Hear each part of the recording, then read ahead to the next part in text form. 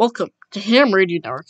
In this video, we're going to set up hams over IP on microsip.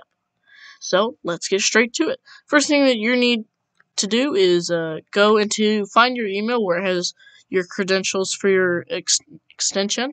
You're also going to have to download microsip. The link to microsip will be in the description. This also works with any other VoIP SIP service. So the instructions are the same for a ham shack hotline and Amateur Link, Amateur Wire, uh, the Freedom Extend Network, etc., etc. So we're going to copy the server address here, and we'll put it in the SIP server. Get rid of the space that I put in there, because you do not want spaces on anything in here.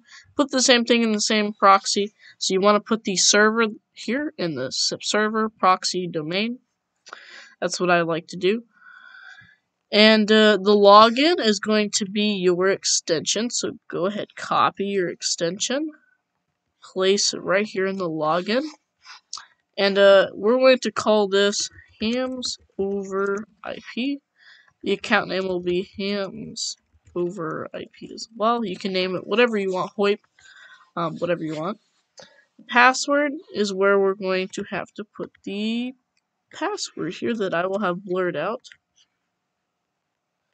Now with the password, you're going to want to click display password and uh, use the arrow keys and make sure there's no spaces in between the password and the end of Microsoft.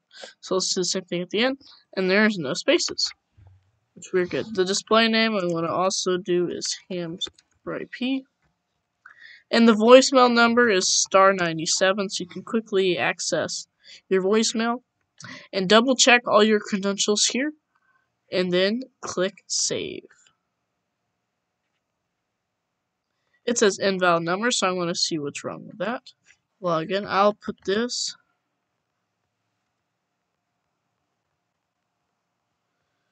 I'll re-enter the password.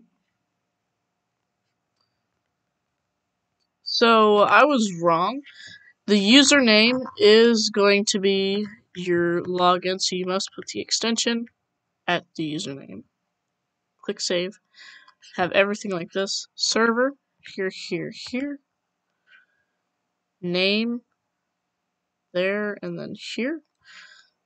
You want the extension here, here, and then you also want the password here and voicemail star 97 right here. Click save.